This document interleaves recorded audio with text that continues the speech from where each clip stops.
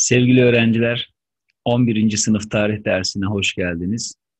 Bu dersimizde 11. sınıflarımızın birinci ünite değerlendirme sorularını hep beraber cevaplayacağız arkadaşlar.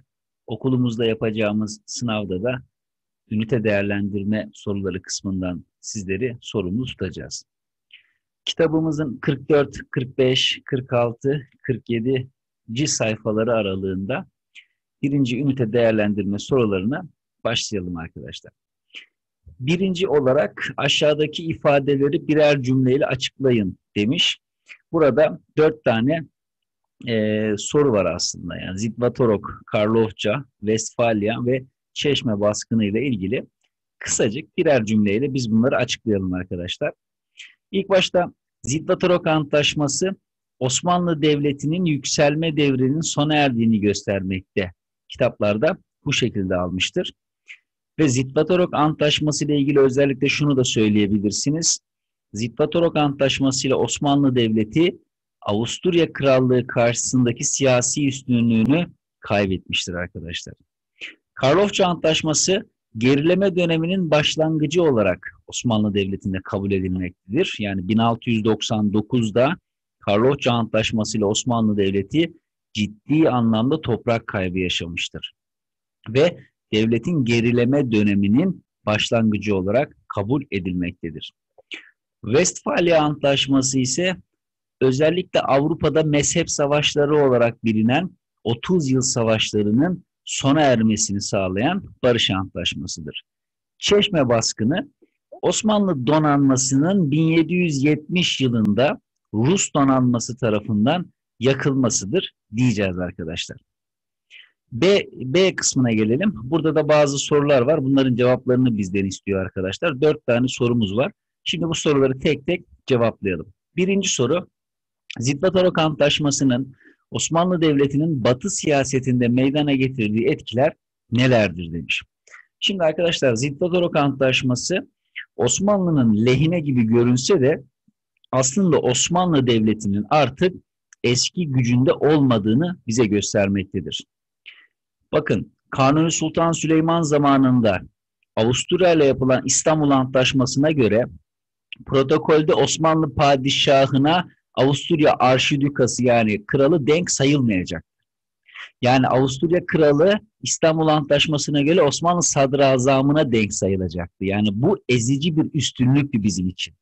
Fakat Zitvatorok Antlaşması'yla ne yazık ki siyasi dengeler Osmanlı aleyhinde bozulmuştur.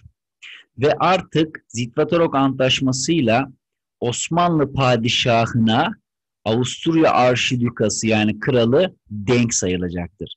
Yani adamlar vaktiyle e, kaybetmiş oldukları siyasi üstünlüğü Zitvatorok Antlaşması'yla ne yazık ki tekrardan elde etmişlerdir diyeceğiz.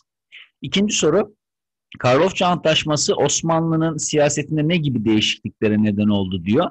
Şimdi arkadaşlar Karlofça Antlaşması 1699 yılında imzalanmış bir antlaşmadır ve Osmanlı Devleti'nin gerileme dönemine girdiği bir antlaşmadır. Bakın bu antlaşmanın hazırlanmasının e, öncesine şöyle bakacak olursak, İkinci Viyana kuşatmasında Osmanlı Devleti başarısız olunca Avrupa'daki devletler artık Osmanlı'nın eski gücünde olmadığını fark ettiler ve Kutsal İttifak adı altında birleşerek Osmanlı Devleti'ne saldırdılar. Ve bu saldırmanın sonucunda da Osmanlı Devleti ne yazık ki kaybetti. 1699 yılında Karlofça Antlaşması'nı imzalayarak tarihinde ilk defa büyük oranda toprak kaybetti. Ve böylelikle biz diyoruz ki Karlofça Antlaşması ile Osmanlı artık gerileme dönemine girmiştir. Ve Karlofça Antlaşması ile beraber artık Osmanlı Devleti'nin temel politikası elindeki o daha önceden kaybettiği yerleri geri alabilmektir arkadaşlar. Yani bakın Karlofça'ya kadar devletimizin temel politikası genişlemekte. Fakat Karlofça ile beraber artık devlet kaybettiği toprakları geri almayı temel politika haline getirecektir. Üç, sömürgeciliğin yaygınlaşmasında etkili olan gelişmeler nelerdir? Şimdi arkadaşlar sömürgeciliğin yaygınlaşmasında etkili olan gelişmelerden biri özellikle coğrafi keşiflerdir. coğrafi keşiflerle beraber yeni yerlerin keşfedilmesi, yeni deniz yollarının keşfedilmesi kesinlikle sömürgeciliği hızlandıracaktır. Özellikle İngiliz Doğu Hindistan şirketi ve Hollanda Doğu Hindistan şirketlerinin faaliyetleri de sömürgecilik yarışını özellikle Asya topraklarında ileri boyuta taşıyacaktır. Sömürgeciliğin sonucunda devletlerin zenginleşmesi de arkadaşlar bu yarışı hızlanmasına sebebiyet verecektir diye cevaplayacağız. Dördüncü soru Rusya'nın 1774 Küçük Kaynarca Antlaşması ile Osmanlı Devleti'nden elde ettiği çıkarlar hangileridir diyor. Şimdi 1770 e, yılında Çeşme baskınıyla Ruslar Osmanlı donanmasını Çeşme'de yaktılar.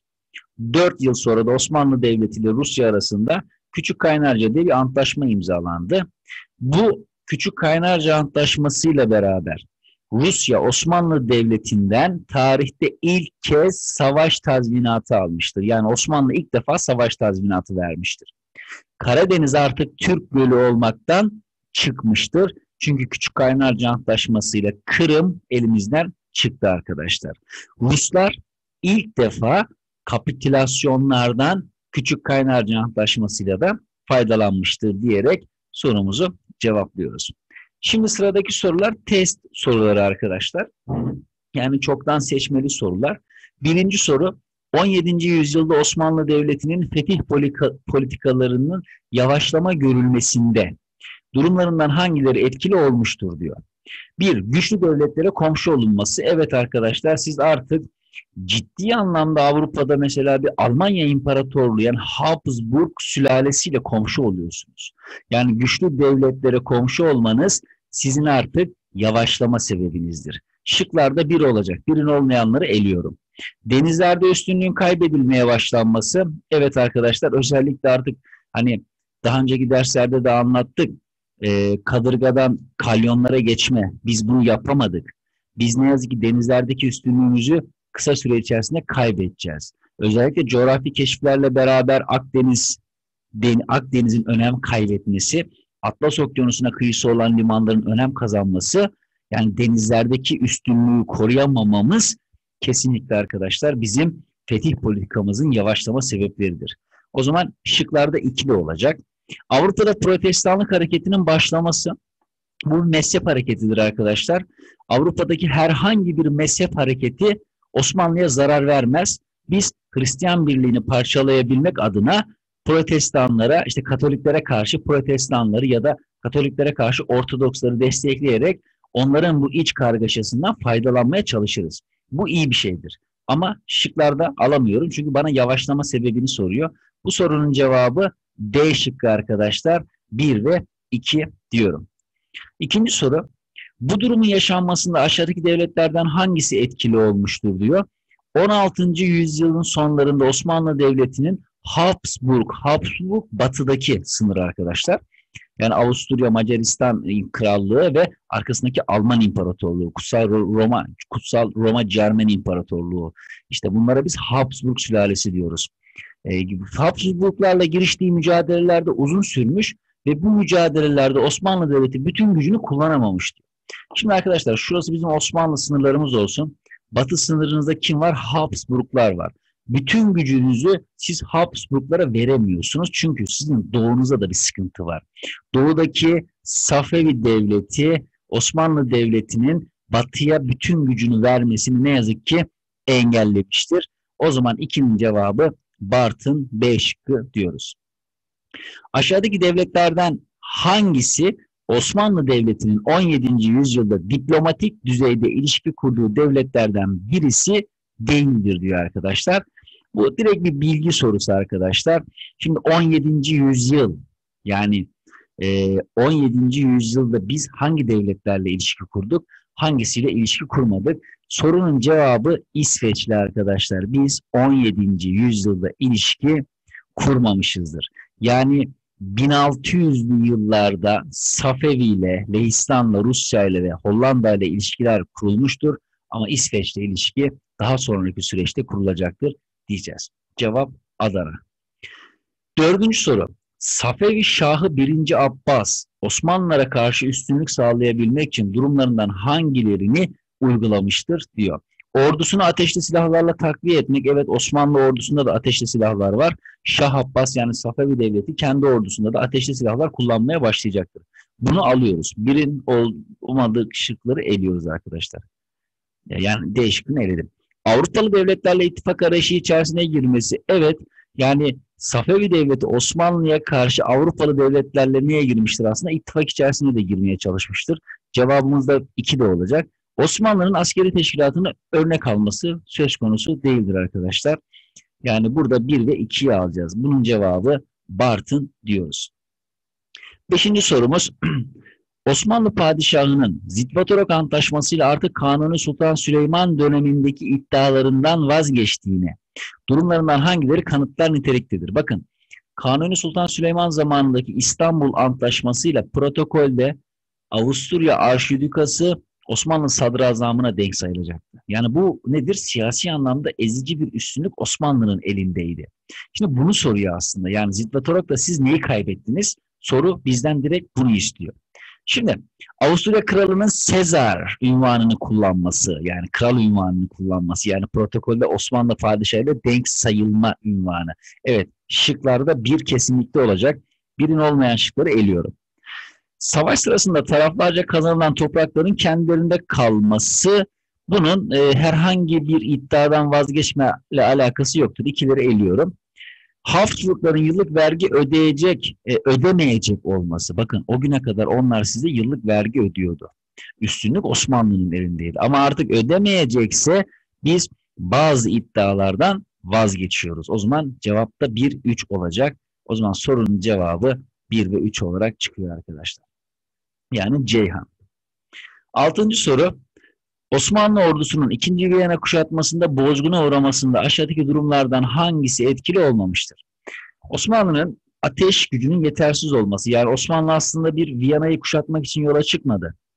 Osmanlı burada Avusturya ve Alman İmparatorluğu'yla bir meydan savaşı yapmak için İstanbul'dan yola çıktı. Meydan savaşı için yola çıktığı için ona göre silah getirdi. Yani bir kale kuşatması yapacak kadar büyük güçle toplar getirmedi. O zaman A şıkkını eliyorum. Yani ikinci Viyana'nın başarısız olma sebeplerinden biridir. Avusturya'ya destek gelmesi, evet Avrupa'dan destek gelmesi Osmanlı'yı zor duruma sokuyor. Viyana'nın konumu nedeniyle kuşatılması zor olması, evet bu da doğru.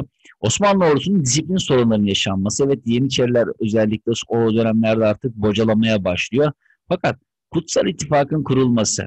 Şimdi arkadaşlar Kutsal İttifak İkinci Viyana bozgunundan sonra Avrupa Osmanlı'nın eskisi kadar güçlü olmadığını anlayınca o zaman Kutsal İttifak'ı kuruyorlar. Yani Kutsal İttifak Viyana kuşatmasında yaşanılan bozgundan sonraki olaydır. O zaman sorunun cevabı Edirne diyoruz. 6 Edirne arkadaşlar. Aşağıdakilerden hangisi Westfalia Antlaşması'nın sonuçlarından biri değildir ki bu 30 yıl savaşlarını bitiren e, mezhep savaşlarını bitiren bir barış antlaşmasıydı. Yani Katoliklerin aslında kaybettiği bir antlaşmaydı.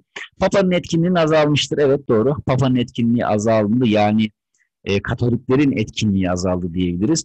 Augsburg Antlaşması hükümleri yenilendi. Bu da doğru bir bilgi. Kutsal Roma İmparatorluğu hukuken parçalandı. Bu bir dursun arkadaşlar. Ne alakası var? Yukarıda yani e, Westfalia Antlaşması 30 yıl savaşlarını bitiren bir antlaşma. Hani Kutsal Roma İmparatorluğu neden hukuken parçalansın? Yukarıda mezhep savaşlarını bitiren bir antlaşma neden bir devleti siyasi olarak hukuksal anlamda yok saysın? Avrupa'daki kaos ortamı sona erdi. 30'lu savaşlarının bitmesinden bahsediyor. Almanya'da protestan ve katolik olmak üzere ikiye ayrıldı. Evet ama kutsal Roma İmparatorluğu hukuken parçalanmamıştır arkadaşlar. Bu sorunun cevabı C şıkkı diyoruz. Sekizinci soru. 17. yüzyılda Okyanus'a ve Akdeniz'e kıyısı olan Avrupalı devletler uyguladıkları stratejilerle denizlerde ticari ve askeri faaliyetlere girişti. Bu devletlerden biri değildir diyor arkadaşlar. Yani okyanusa açılan burada dört tane devlet var. Bir tanesi açılamamış onu soruyor. Ya bu sorunun cevabı Venedik'tir arkadaşlar. D şıkkıdır. Çünkü Venedik Karadeniz'de ve Akdeniz'de kalabilmiştir. Yani Atlas Okyanusu'na Venedik geçememiştir arkadaşlar. Dokuzuncu soru. Osmanlı Devleti'nin denizlerde hakimiyetinin sona ermesinde durumlarından hangileri etkili olmuştur? Donanmada kadırgadan kalyona geçilmesi yani kadırgadan kalyona geçilmesi iyi bir şeydir. Yani teknolojiyi yakalamakla ilgili bir şeydir. Bunu eliyorum. Yani cevaplarımda bir olmayacak. Çünkü soru bana ne diyor? Ee, etkili olmuştur diyor. Denizlerdeki gücünü kaybetmesinde etkili olmuştur diyor. Yani kadırgadan kalyona geçmek iyi bir şeydir. Yani e, donanmanızı daha güçlü silahları olan bir gemi ortaya çıkartıyor. Kalyon daha güçlü gemi, daha büyük gemilerde. Bu iyi bir şey. Bu sizi güçlendirir. Ama bana soruda diyor ki güçlenmemesi gereken bir şey söylüyor. Yani olumsuz bir şey arayacağım ben. Batı gemiciliğindeki teknolojik gelişmeler uzak kalınması. Evet bu var. Yani biz kadırgadan kalyona geçmişiz ama 100 yıl sonra geçmişiz arkadaşlar. Yani batı gemiciliğindeki teknolojilerden uzak kalmışızdır. Cevap da iki olacak. Siyasi hedefleri kara kuvvetleriyle evet kesinlikle arkadaşlar Osmanlı kara kuvvetleriyle her meseleyi halledebileceğini ne yazık ki düşünmüştür. Fakat denizlerde bu e, gücü kaybetmesine sebebiyet vermiştir. O zaman bu sorunun cevabı Edirne 2 ve 3 diyoruz arkadaşlar. Son test sorusu 1711 yılında imzalanan Prut Antlaşması ile Ruslar işgal ettikleri topraklardan geri çekilecek İstanbul Antlaşması sonrası yaptığı kaleleri ve istihkamları yıkacaktı. Buna göre yargılarından hangilerine ulaşılabilir? İstanbul Antlaşması'da kaybedilen yerler geri alınmıştır. Evet şurada var e, işgal ettikleri topraklardan geri çıkacak. Şimdi arkadaşlar bakın 1700 e, 1700 yılında biz Ruslarla bir antlaşma imzalıyoruz. İstanbul Antlaşması. Ve bu İstanbul Antlaşması ile aldıkları yeri Prut Antlaşması ile geri vermişlerdir. O zaman bunu alıyorum. Karlofça Antlaşması ile kaybedilen yerlerin geri kazanılacağı umudu güçlendi. Evet bu da doğru. Yani Ruslara verdiğimiz bazı topraklar, yani İstanbul Antlaşması vermiş olduğumuz bazı topraklar Prut Antlaşması geri alınmıştır. E biz deminden de bahsettik. Osmanlı'nın gerileme dönemi yani Karlofça ile başlayan gerileme döneminin temel politikası kaybettiği toprakları geri alma. Prut Antlaşması Osmanlı'yı umutlandıran bir antlaşmadır. İkiyi de alıyorum.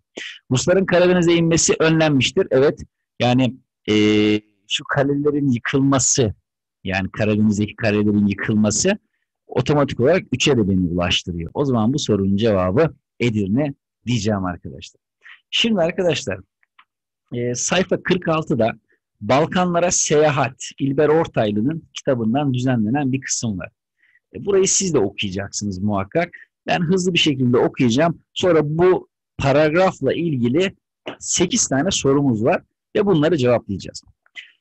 Balkanlara seyahat 26 Ocak 1699'da yani tarihe bakın Karlofça Anlaşması'nın tarihi.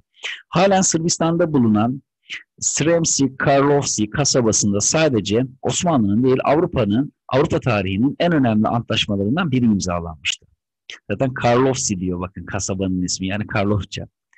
Bu antlaşma Osmanlı Devleti ile Hristiyan kuvvetler arasında ilk defa 1648 Westfalia Antlaşması'nda tespit edilen diplomasi kurallarına göre cereyan etti.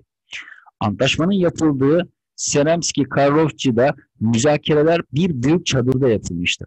Sonra bu çadırın yerine yapılan kilisede Türklerin antlaşma mekanına girdikleri kapı olan Doğu kapısı örülmüş ve Türklerin bir daha bu kapıdan girmemesi niyaz edilmişti.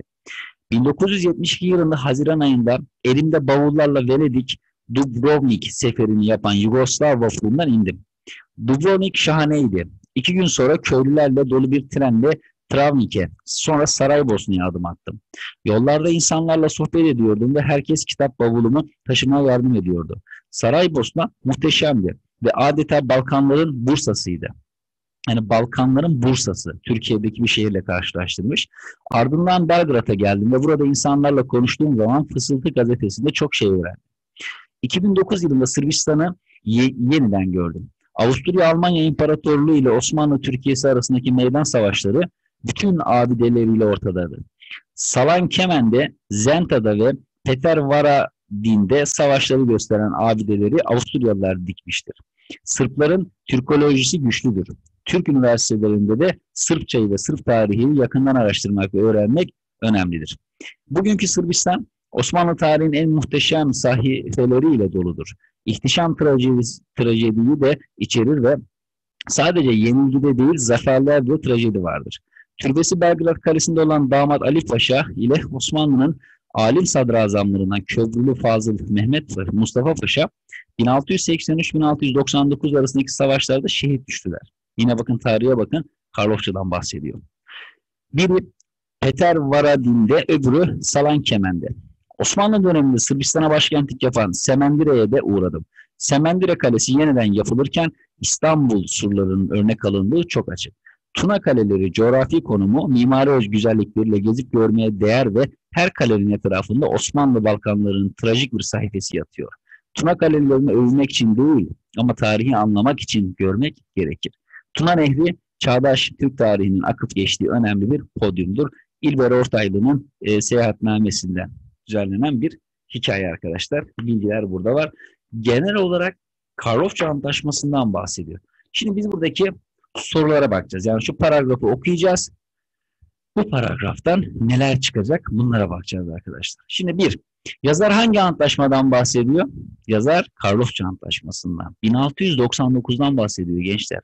Cevabımız o zaman ne burada? Karlofça Antlaşması. İkinci soru, bu antlaşmanın sadece Osmanlı'nın değil Avrupa tarihinin en önemli antlaşmalardan biri olmasının nedenleri nelerdir diyor. Bu da cevap olarak paragrafta vermiş zaten. Bu antlaşma Osmanlı Devleti ile Hristiyan kuvvetleri arasında ilk defa 1648 Vesfalya Anlaşması'nda tespit edilen diplomasi kurallarına göre cereyan eden bir antlaşmadır diyeceğiz arkadaşlar. Üçüncü soru, antlaşmanın yapıldığı Sremski Karlovçi'de büyük çadırın yerine bir kilise inşa edilmesinin nedeni nedir? Çünkü Türklerin dolayısıyla İslam'ın bir daha o kapıdan geçemeyeceğine vurgu yapmak istemişlerdir Hristiyanlar. Dördüncü soru, çadırın yerine yapılan kilisenin doğu kapısının örülerek Türklerin bir daha bu kapıdan girmemesi niyaz edilişinin nedeni ne olabilir? Cevap olarak da şunu istiyoruz arkadaşlar. Çünkü Türkleri dolayısıyla da İslam Avrupa'dan atma hayalleri kuran Avrupalılar bunu simgelemek için bu kapıyı ne yapmışlardır? Örmüşlerdir diyeceğiz. Beşte, beşinci soruda yazar seyahate çıkarken kitap bavulunu niçin götürmüş olabilir diyor. Şöyle bir yorum yapabiliriz. E, çünkü Türk tarihini bilmek, görmek, öğrenmek isteyen birinin keşfedeceği topraklardadır. Bu topraklarla ilgili her şeyi öğrenmesi gerekmektedir. Bundan dolayı yanında bavullarla kitap getirmiştir diyeceğiz arkadaşlar. Altıncı soru, yazar Saray Bosna'yı niçin Bursa'ya benzetmiştir? Çünkü muhteşem bir yerdir, yemyeşildir. Bursa'da hem tarihi zenginlikleri hem de yeşillikleriyle ünlüdür. O yüzden e, Saray Bosna'yı Bursa'ya benzetmiştir. Yedinci soru, Sırbistan'ın Osmanlı tarihinde en muhteşem sahifeleriyle dolu olmasının nedenleri nelerdir? Cevap olarak da Belgrad olmak üzere Sırp toprakları yüzlerce yıl Osmanlı izlerini Osmanlı'nın önemli isimlerini ağırlamış. Hatta birçok Türk komutanı topraklarda gömülü olduğu için diyeceğiz arkadaşlar. Ve son soru olan 8. soru. Yazarın Tuna Nehri'ni çağdaş Türk tarihinin akıp geçtiği önemli bir podyuma benzetmesinin gerekçeleri ne olabilir? Çünkü Tuna Nehri'nin e, özelliğinde o topraklar Türklerin tarihinde yüzlerce yıllık bir birikim ve kahramanlık hikayesi barındırmaktadır. E, Fatih Sultan Mehmet bile diyor ya Fırat'tan Tuna'ya kadar. O nehre bakınca Türkler şanlı geçmişlerini ve atalarının hatıralarını görebilmektedir diye Tuna Nehri bizim için önemlidir diyeceğiz arkadaşlar. Bir başka paragraf sorusu var arkadaşlar. Bu da dördüncü Murat'la, dördüncü Murat'la ilgili. Bunu da hemen okuyacağım. Sonra beş tane sorusu var. Beraber cevaplayacağız. Dördüncü Murat Osmanlı padişahları arasında farklı karakterde bir şahsiyettir. İrade ve hafızası kuvvetli, gözü hiçbir şeyden yılmayan bu hükümdar vesayet altında yaşadığı yıllarda devlet işleriyle ilgilenmiş, tepdili kıyafet gezerek her şeyi yakından görmüş, anlamaya çalışmış, memleketin iç ve dış durumunu düzeltmiştir. Sert tutumunu daha çok kötülüklerine inandığı kimseler hakkında göstermiştir. Bazı batı kaynaklarında onun her tarafta hafiye bulundurduğu ve tercüme ettirdiği Makyavel okuduğu rivayet edilmiştir. Dördüncü Murat dönemi alim, şair, tarihçi, hattat ve musiki, şinas gibi çeşitli alanlarda yetişmiş fikir adamları bakımından Osmanlı Devleti'nin dikkate değer bir devresi olmuştur. Evliya Çelebi, Katip Çelebi, Nef'i, Şeyhülislam Yahya, Veysi, Koçi Bey, Azmizade, Haleti gibi isimler dönemin önde gelen şahsiyetlerinden sadece birkaçıdır diye e, bir paragraf vermiş arkadaşlar. Burada da beş tane sorumuz var. Bu paragrafa göre cevaplayacağız. Şimdi bir, 4. Murat'ın diğer padişahlardan farklı kılan özellikleri nelerdir?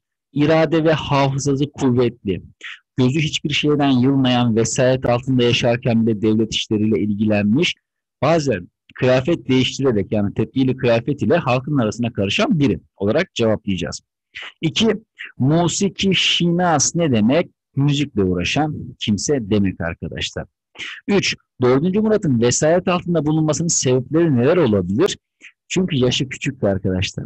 Ve annesi Kösem Sultan da etrafındakilerin baskısı altındaydı. Bu yüzden kendisi bir süre vesayet altında kalmıştır diyeceğiz. Dördüncü soru. Bu dönemde çok sayıda alim, şair ve tarihçi gibi şahsiyetlerin yetişmesinin sebepleri ne olabilir? Çünkü bu dönemde sanatçıya, sanata büyük değer verilmiş, bu kişiler korunmuş, kollanmış ve maddi yönden de desteklenmiştir.